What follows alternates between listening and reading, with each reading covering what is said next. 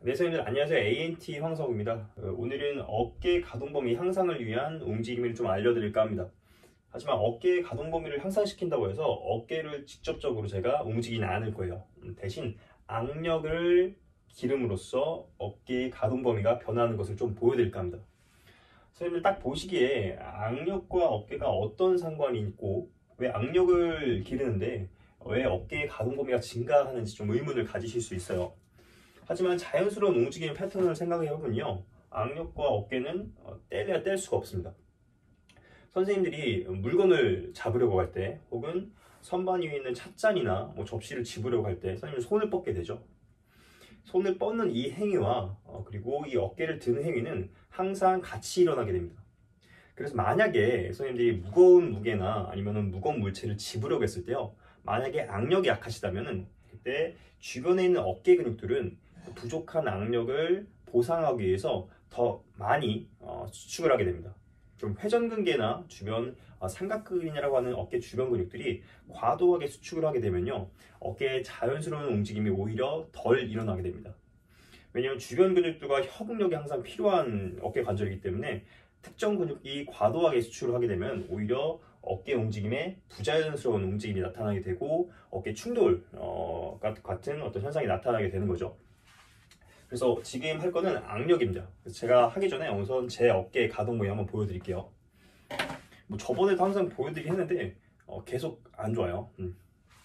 알고도 안 고친 이유는 에, 유튜브 선생님들한테 어, 좋은 것들을 알려드리기 위해서 어, 변명은 변명입니다. 한번 가슴 피고 한번 해볼게요. 오른쪽은 좀 더 가죠.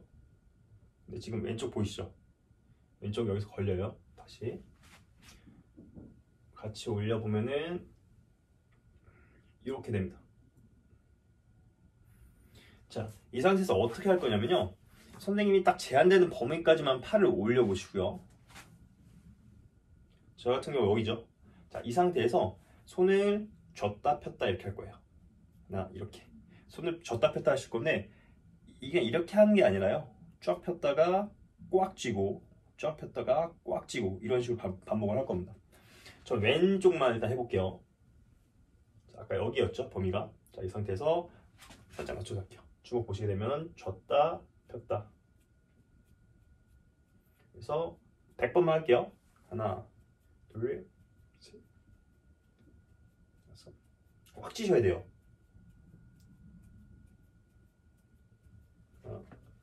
꽉 쥐셔야 됩니다. 벌써 힘드네.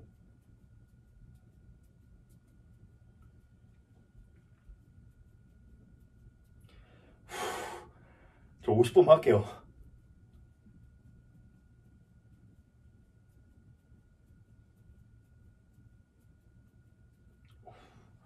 자, 제가 50번, 한 60번 했을 거예요. 음. 가볍게 움직여 보고 다시 한번 팔을 올려보겠습니다. 왼쪽 만 일단 올려보고요. 그 다음에 양쪽 다 한번 같이 올려볼게요.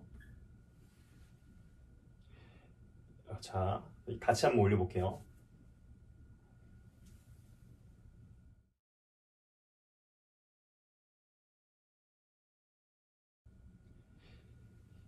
너 거짓말 치는 거 아니야? 라고 생각하실 수도 있어요. 일단 한번 해보시고요. 어, 해보시고요. 해보시고 일단 비교를 해보세요.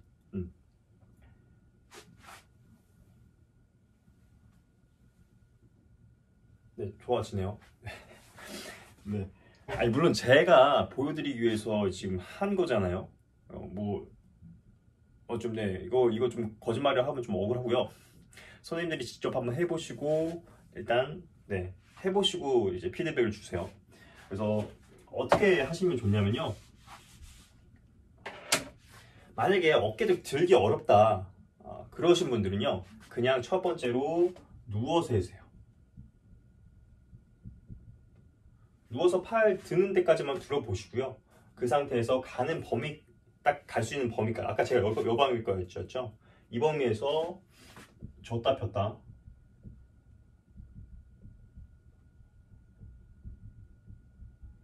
50번에서 100번 그래서 3세트까지 해주세요.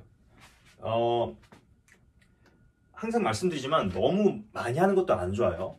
그래서 한 50번 좀 제가 해봤는데 50번도 힘드네요. 50번이 적당할 것 같아요. 좀 정정할게요. 50번에서 3세트까지 좀 이렇게 해주시면 좋을 것 같아요. 좀 중요한 거는 이렇게 약하게 하면은 아무런 소용이 없습니다. 꽉 쥐셨다가 꽉 피셔야 돼요. 음. 너무 힘들다, 정말 너무 힘들다 하시면 누워서 하시면 될 것 같고요. 만약에 괜찮다 그러면은 두 번째로는 저처럼 서서 해주세요. 누워서 하다 괜찮으면 이제 서서 하시는 거죠. 서서 마찬가지로 50번에서 어, 3세트 해주시면 될 것 같고요. 서서도 괜찮다. 서서도 괜찮다. 그러면 이때 좀 중요한 어떤 게 들어가야 되는데 제가 지금 이렇게 왼손만 했죠. 왼, 왼, 어, 왼쪽 어깨 아프니까 왼손만 했어요. 그죠? 3번 같은 경우는 반대쪽 손 있죠. 반대쪽 손에